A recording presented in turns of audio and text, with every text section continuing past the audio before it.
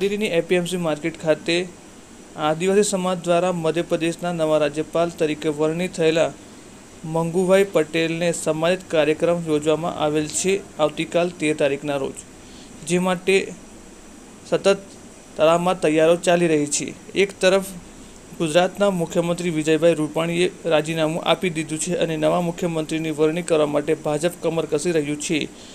તેવામાં ગુજરાતના ભાજપના પીઠ જેવા મંગુભાઈ પટેલને મધ્યપ્રદેશના રાજ્યપાલ નિયુક્ત કર્યા. તેના સન્માનિત કાર્યક્રમો ગુજરાતમાં વિવિધ વિસ્તારોમાં યોજાઈ છે, જે આવતીકાલે તેર નવ બે હજાર એકવીસના રોજ બોડેલી એપીએમસી માર્કેટ ખાતે યોજનાર છે. તેની તળાવમાં તૈયારીઓ ચાલી રહી છે એપીએમસી માર્કેટ ખાતે.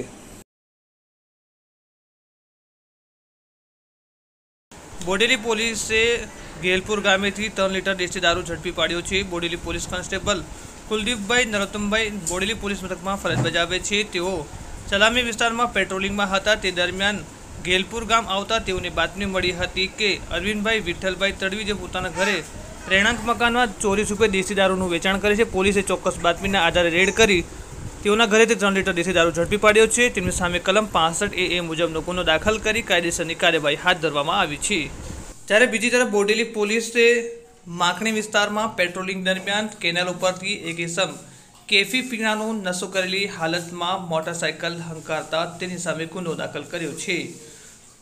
ગુજરાતમાં દારૂબંધી હોવા છતાં પણ લોકો દારૂ પીને મોટરસાયકલ હંકારતા હોય છે. પોલીસ પણ તેની સામે કાર્યવાહી કરતી હોય છે.